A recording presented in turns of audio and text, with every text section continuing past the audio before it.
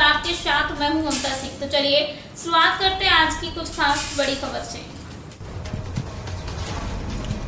Nagina police के द्वारा अंतर्राज्यीय वाहन चोर गैंग का पर्दाफाश करते हुए चार शातिर वाहन चोरों को चोरी के पंद्रह दोपहिया वाहन तथा चार अवैध शस्त्रों सहित गिरफ़्तार किया गया तथा उनके साथ ही एक बाल अपचारी को पुलिस अभिरक्षा में लिया गया है। आपको बता दें कि बिजनौर पुलिस अधीक्षक के द्वारा जनपद के वाहन चोर की घटनाओं पर अंकुश लगाने वाले एवं वाहन चोरों की गिरफ्तारी एवं चोरी किए गए वाहनों की बरामदगी हेतु चलाए जा रहे अभियान के अंतर्गत मुखफिर की सूचना पर थाना नगीना पुलिस के द्वारा नगीना रायपुर रोड से चेकिंग के दौरान घेराबंदी, चार अभियुक्त मोन्टी अंकित, नैमी शरण और लक्की को चोरी की तीन मोटरसाइकिल व चार अवैध शस्त्र सहित गिरफ़्तार किया गया।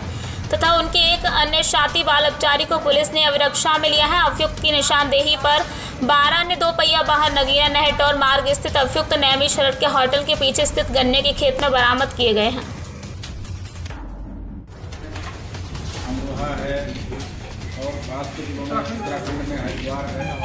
आसपास के जनपदों में उधम नगर से हर जगह से चोरी कर रहे हैं। फ़िलहाल अभी हम लोगों ने इसमें देखिए, नगीना पुलिस द्वारा एक अंतर्राज्यीय वाहन चोर गैंग का खुलासा किया गया है। बहुत अच्छा गुडवर्क किया इनके द्वारा। और पंद्रह मोटरसाइकिलें उसमें रिकवर की हुई हैं अब तक जो है। और इनसे पूछताछ के आधार पर हम लोग आगे भी इसकी इंक्वायरी कर रहे हैं और उसमें और भी आगे बरामदगी हमारी होगी। इसमें चार अभियुक्त मोन्टी और सरजीत, अंकित नैमिशरण और लक्की, ये चार गिरफ़्तार हुए हैं। इसके अलावा एक बाल अपचारी हो। गए पाँचों ये पाँच लोग गिरफ़्तार हुए जिनके कब्जे से चार अवैध तमंचे, चार कारतूस और पंद्रह बाइक बरामद हुई हैं।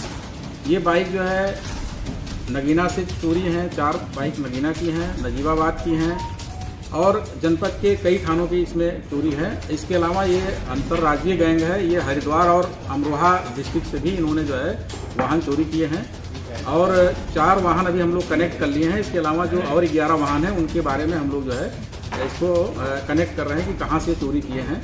तो ये एक बड़ा शातिर गैंग है और इस लगातार जो है जनपद में और अगल बगल के डिस्ट्रिक्ट में चोरी कर रहा था और ये रात्रि में गिरफ्तारी इनकी हुई है। अच्छा गुडवर्क जो है, ये नगीना पुलिस द्वारा किया गया है।